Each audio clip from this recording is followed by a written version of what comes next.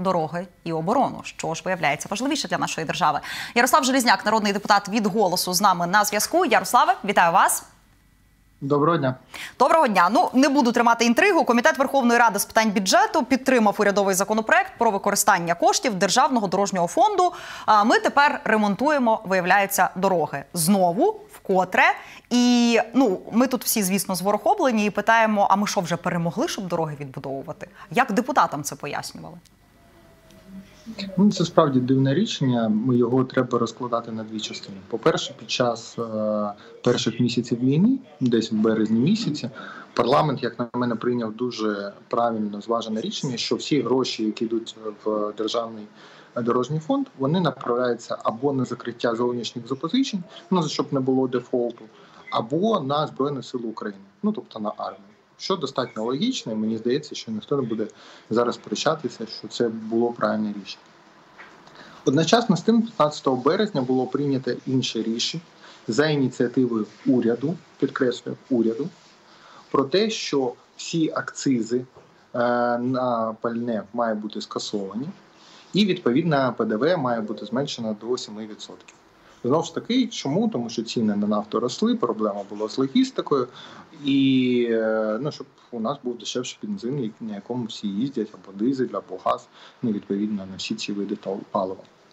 Зараз е, чомусь уряд знову ж таки відмовився від свого того рішення і прийшов з пропозицією а повернути е, акцизний збір на пальне у розмірі 100 євро на тисячу літрів. Пояснення, чому вони це роблять, у мене так і немає від них. Хоча я тричі там мав таку можливість поспілкуватися або в рамках комітету, або в рамках робочих груп. Говорять, що зараз нафта дешевше.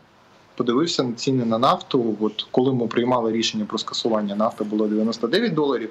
Сьогодні вона вартує 102 долари ну я наскільки там знаю математику, наскільки нас в математичному Маріупольському ліцеї вчили 102 більше ніж 99. Куди вона дешевше, я теж не зрозумів.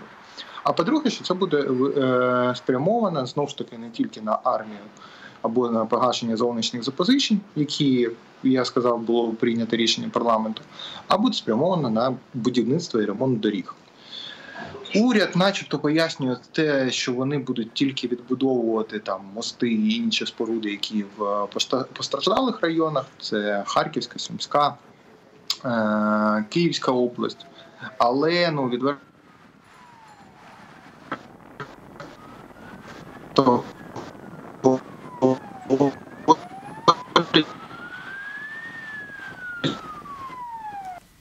Так, щось зі зв'язок зі зв'язком з Ярославом. А спробуємо, можливо, зараз його перенабрати. Нагадаю, що Ярослав Желізняк, народний депутат від голосу, а, розповідає нам власне історично історичне походження цього нового рішення а, урядового а, про використання коштів з державного дорожнього фонду вже на ремонт доріг. А у березні нагадаю, уряд ухвалив рішення використовувати ці гроші із дорожнього фонду, а тільки на повернення зовнішніх боргів, щоб уникнути дефолту, і також також на потреби армії. Зараз чомусь е, внесли до е, бюджетного е, комітету законопроект, щоб ці гроші спрямовувати вже на питання на ремонт доріг. А Ярославе, трошки зник зв'язок. То давайте завершити, що ви хотіли да. розказати. Ну відповідно, у нас виходить те, що ми зараз повертаємо оподаткування палива. От пам'ятаєте, нещодавно у нас там уряд виходив разом з офісом президента, говорили зменшуємо податки.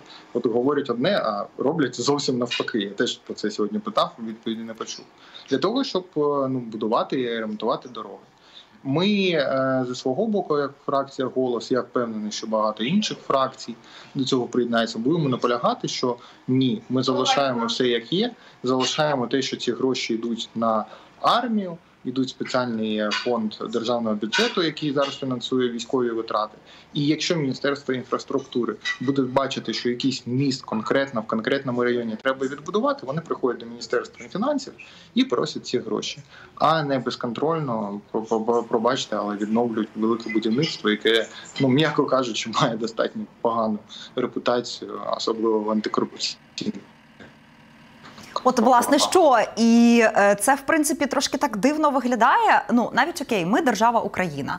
Ми потребуємо зараз чимало фінансової допомоги і озброєння. І от нам дають там умовно Джо Байден на день незалежності дає там 3 мільярди доларів.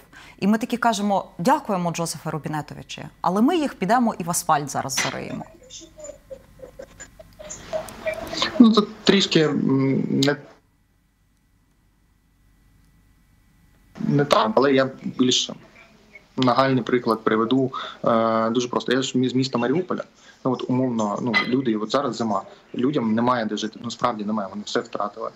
Типу, ви серйозно зараз до влади звертаюся, ви серйозно думаєте, що будувати дорогу в Тернопільській області або десь інше при всій повазі до західної України це зараз пріоритетніше ніж розселити людей з е, умовно з Харківщини, з там Бородянки, з, з того ж самого Маріуполя. Ну ми справді, от ми ж всі чуємо від військових, що проблеми з е, все одно там з навіть з нарахуванням зарплат. Ну і це правда. Ну у нас не вистачає грошей. Ви справді думаєте, що ямковий е, ремонт десь на західній Україні це важливіше? Ну тобто, ну це знаєте про якісь там людські пріоритети. І коли ти не чуєш відповідь на ці запитання, а я повірте, ну тобто я взяв сьогодні, порахував весь кошторис Укравтодору, ну, всі їх надходження, що вони відклали. Ні, тут ну це не огульна критика. Ну справді там напевно є якісь потреби відновити якийсь міст, але ці потреби закриваються з е, цього надзвичайного фонду держави. Вони не треба на них збирати бюджет. А коли це ну відновлення будівництва, це от ну знаєте, під час мирний час це було ну дивно і ще раз з дуже таким корупційним душком.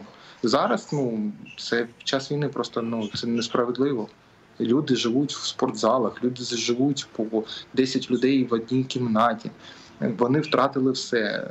Їм справді немає на що жити. Ну тобто, це не огульна популістична критика. У них справді немає, немає куди повертатися. Ну це факт, і це не, не десятки навіть тисяч людей, це сотні тисяч. Один Маріуполь 420 тисяч, тільки офіційно. Ми зараз говоримо про те, що відбу- ну, відновити дороги. У нас затримка була по зарплаті нещодавно військово. Ну теж правда. Чому немає грошей?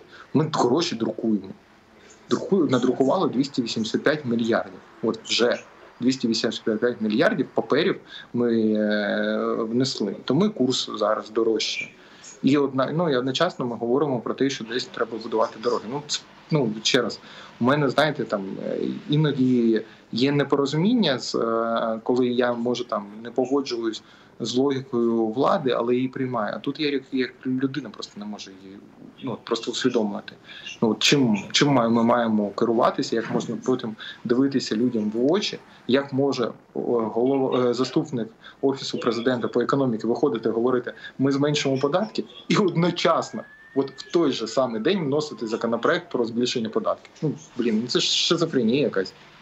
Е, Ярославе, дуже коротко, бо хвилинка залишається. Я то як е, е, віддана читачка вашого телеграму і всіх інших закликаю теж читати ваш телеграм. Ви там писали, що вони реально сподівалися на ухвалення в першому читанні і в цілому. А яка реальна перспектива, які настрої у раді? Ну, ну слухайте, це ж знову ж таки про адекватність. Я буду блокувати. Мої колеги будуть блокувати. У нас ну щонайменше я бачу, що ми, Європейська Солідарність, е, е, група Разумкова. Ну це ті, хто от не налаштовані дати цьому пройти. Я знаю багато слуг народу, які в принципі розділяють такі ж ну, питання, що і у мене. Тому ніяких за основою в цілому. Ще раз є перелік об'єктів, які треба відновити. Е, Ціна питання 11,3 мільярди. Я готовий сісти з Мінфіном, просто розкласти, де можна там зробити ці гроші і знайти їх.